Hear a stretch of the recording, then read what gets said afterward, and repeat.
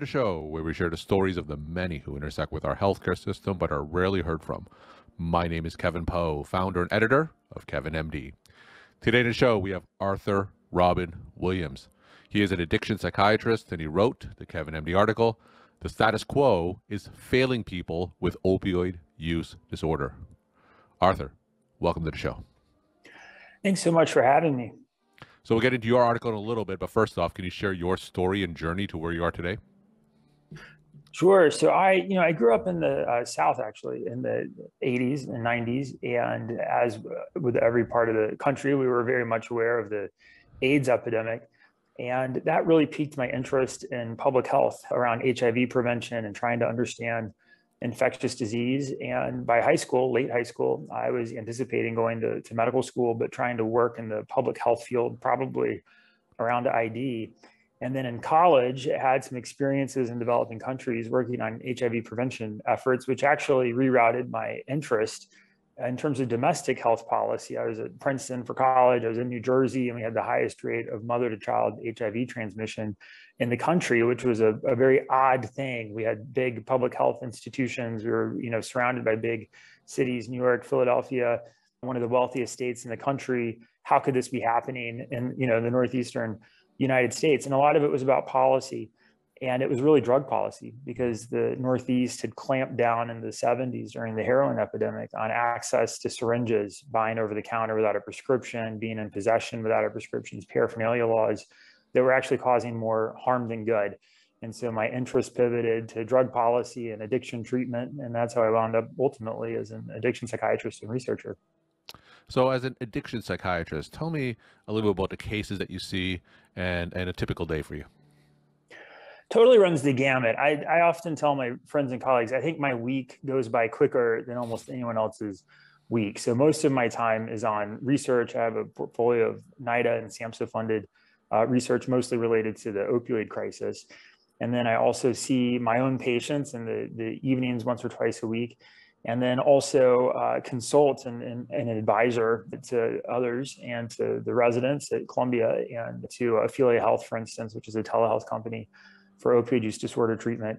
Uh, so it's a total array of patient care and thinking about patient journeys. And I love the mix.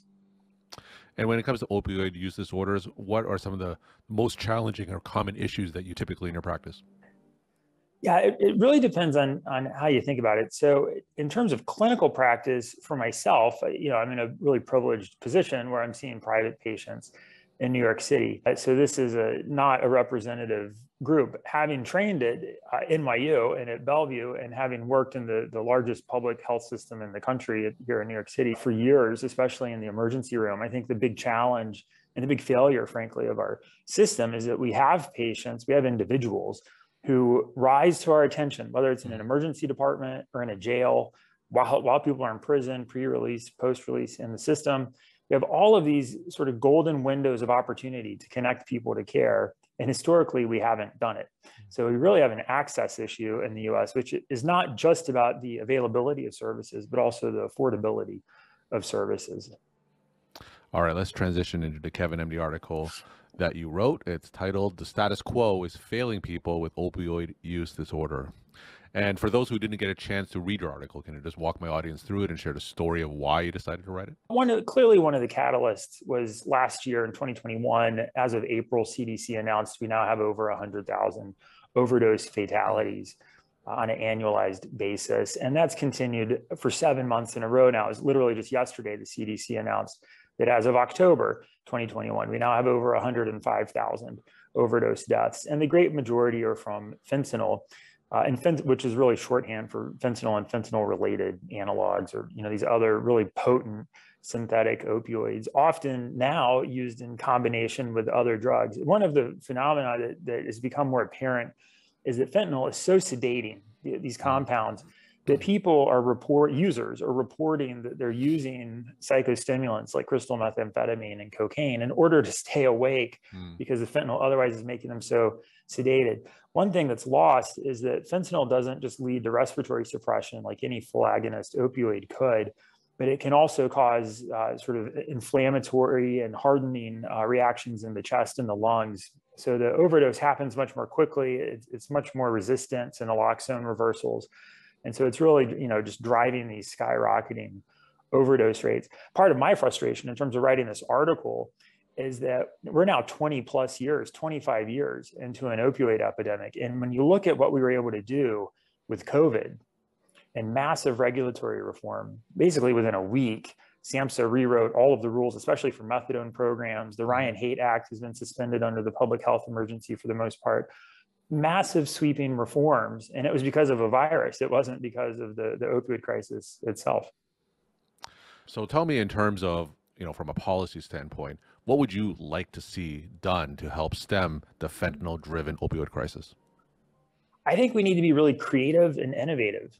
I, I, think, you know, as a sort of a critic here, what I would say, or using a critical lens, what I would say is that we've more or less done more of the same over the last 25 years. Uh, people in, in, this field know that SAMHSA funds the Substance Abuse Prevention and Treatment Block Grant, so the SAPT block grant. A lot of people mistakenly think that that's the number one source of funding for addiction treatment in the United States and that's been that's been sort of topped off. And when you think about inflation, if you if you adjust for inflation, we really haven't even increased our spending that much mm-hmm. over the last 20 years.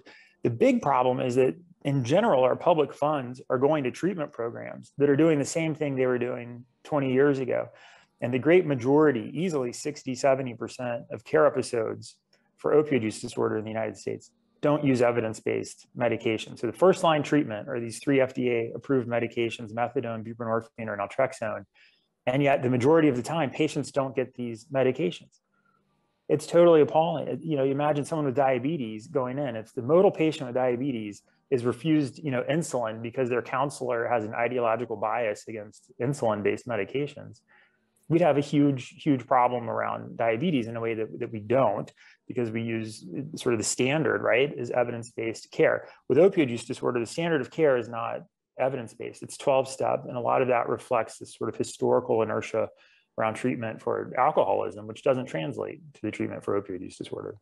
So I'd like to um, have you go into more details in terms of some of those obstacles and resistance points preventing these evidence-based solutions to overdoses. So why aren't these medications being used? More? Probably the, the, the unfortunately it's culture and stigma. Mm-hmm. And historically, a lot of our rehab programs, which you know we have about fifteen thousand addiction service programs in the United States, maybe you know fifteen hundred or methadone programs, a thousand are hospital based so the great majority, 10, 12,000 of these programs you could think of as along the lines of kind of mom and pop, small scale, sober houses, 12 step programs, therapeutic communities. People may be residential, they may be in, in, what we might think of as more of an intensive outpatient program. These are basically groups. They're peer led groups. They may have counselors who are running the, the groups and they're 12 step based. So it, it, often, unfortunately, is ideological in the absence of having access to medications. And part of that reflects the reimbursement, you know, the funding streams, where these programs don't actually have the funds to hire nurses and physicians, and they're not providing medical care. So they're not eligible for insurance reimbursement from a, from a Medicaid plan or a commercial plan to begin with. So the, the addiction world has increasingly been separated, right, segregated from from academic medical centers. They're not co-located on the same campuses and the same buildings, and often, uh, especially historically, the, the plans carved out behavioral health and had all sorts of limits. So the Parity Act, which now has been well over a decade ago, uh, really hasn't had much teeth because it hasn't been enforced. So we have separation and where the services are, have separation and the payment for it and people often aren't receiving evidence-based care. It's a major problem, and it really hasn't changed that much in the last 20 years. So if a patient comes to the emergency room with an opioid use overdose, fentanyl-driven opioid um, overdose, in your ideal world, what should be done if a patient comes to the emergency department with that scenario? So that's a crisis scenario. And the, the crisis is not just reversing the overdose, that's that's not addiction treatment. You know that's treating a medical complication from an untreated opioid use disorder. It, it's really a crisis in terms of how do we keep this person alive? Mm-hmm. because easily 10 15% of those people are going to be dead within the next year. They're, they're at least going to have another medically treated overdose in the ed if not die. And, and one of the what's emerged in the literature just in the last year or two is among people who have a medically treated overdose in the emergency room, we know there are exceptionally high rates of one year mortality following that event.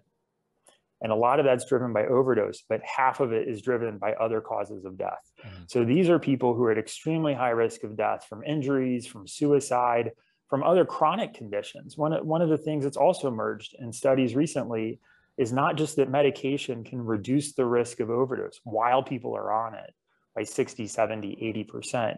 It can also reduce the risk of all cause mortality from cancer, from cardiovascular disease, from all of these other causes of death. So these are really stabilizing medications mm-hmm. that offer tons of benefits to patients. And it, it's just a travesty when patients aren't connected to first line treatment, to the gold standard treatment, which is going to be methadone, buprenorphine, or naltrexone. So the, the best case scenario is someone's treated for medically treated overdose in the ED, we want to make sure they have access to medication, which is not being given a list, you know, a Google-based list that someone pulled off the internet of local, you know, AA meetings or NA meetings. That's not connecting someone to treatment. Ideally, they'd be inducted on buprenorphine in the emergency room itself. They might be started on an injectable, such as extended release naltrexone. We now have uh, one and hopefully soon two versions of injectable buprenorphine that could be administered before the patient is discharged, but that's not our standard of care. And there, there's really not an excuse for it.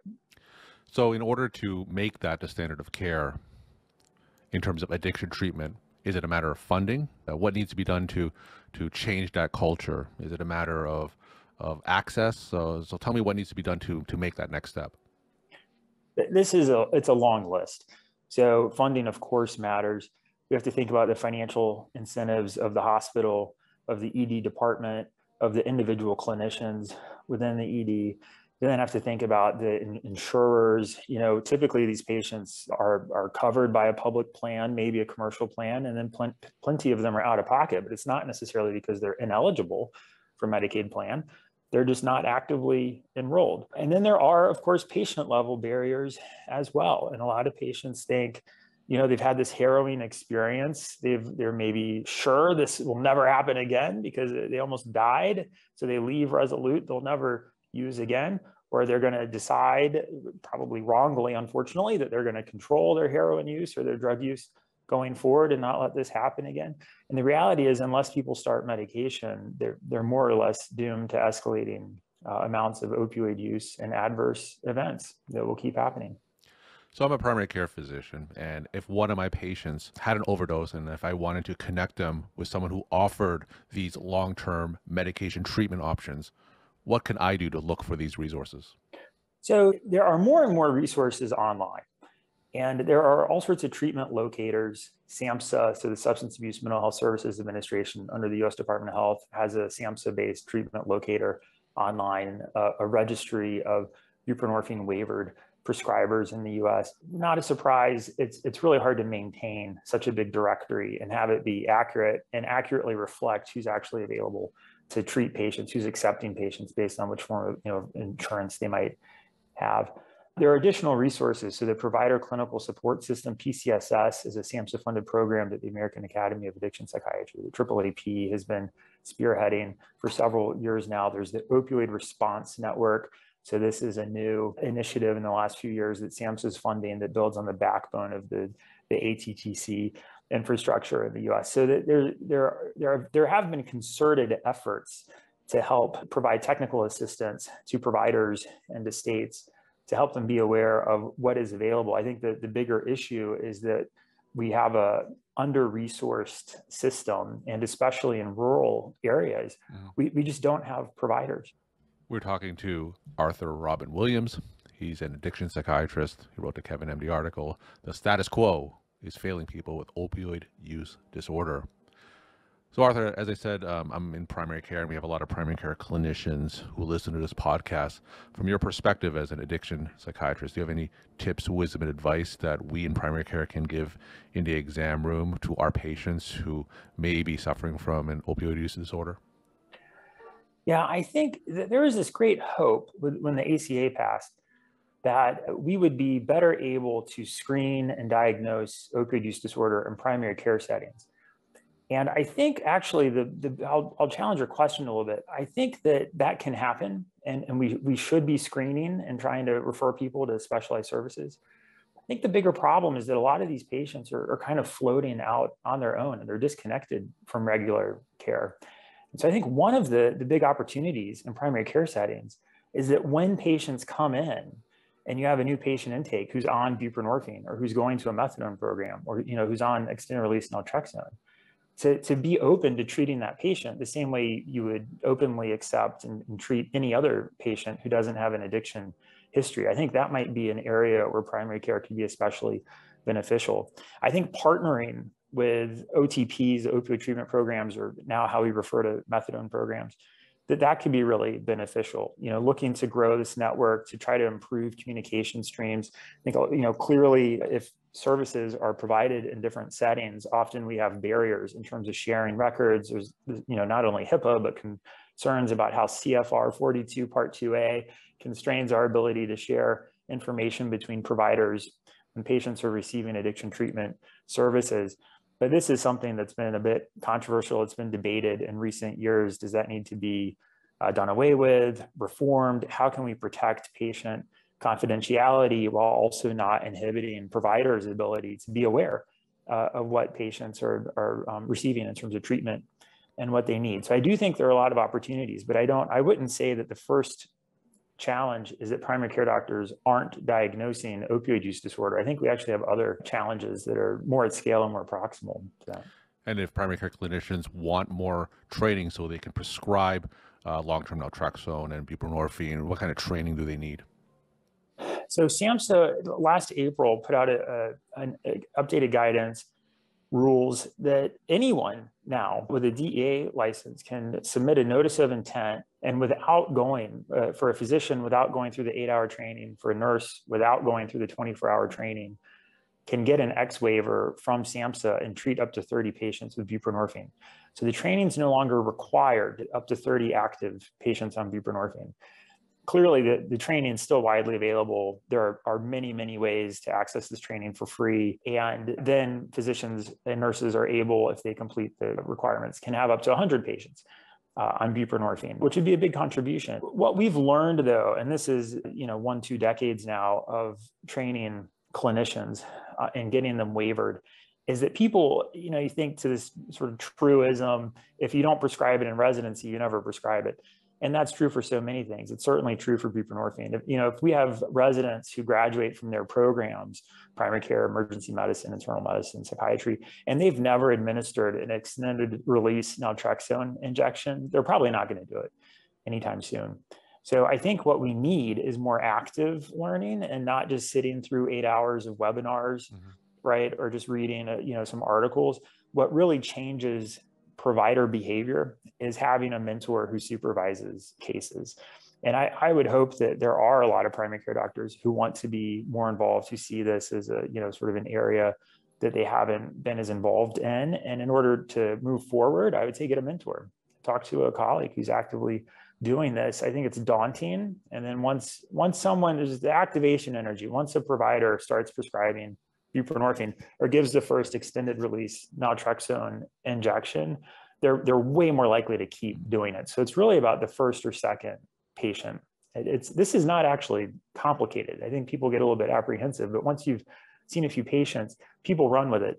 And I think part of that too reflects how exciting it is to work with these mm-hmm. patients because the medications often have such a big effect size that people can look totally different in two or three weeks and they can transform their lives in just a few days or weeks. So there's kind of this magical aspect uh, to the care where it's not curative by any means, but it's transformative.